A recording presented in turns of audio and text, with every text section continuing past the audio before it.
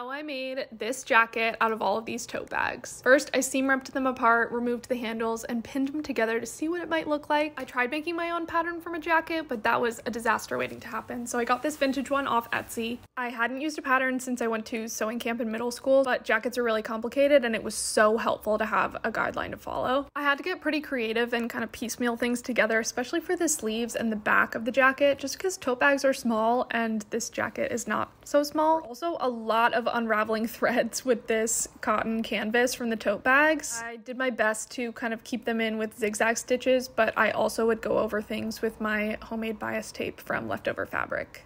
This is what it looked like at the end. The only thing that didn't come from a tote bag was that black fabric on the inside. Everything else came from these tote bags that I had.